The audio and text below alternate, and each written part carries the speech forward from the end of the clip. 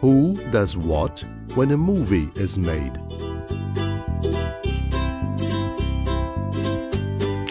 This is a film set. While shooting a film, there are many people working together.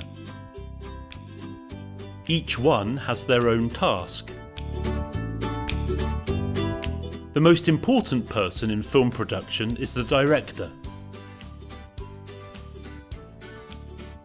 He or she is the head of shooting and discusses the look of the film with the camera operator.